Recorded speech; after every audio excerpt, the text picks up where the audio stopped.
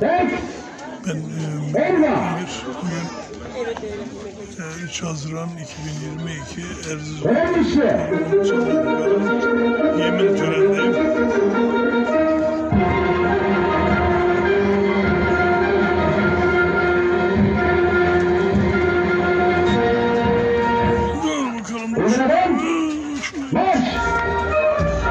Sayın misafirler, Sancak Türk Silahlı Kuvvetleri'nin onur ve şeref timsalidir.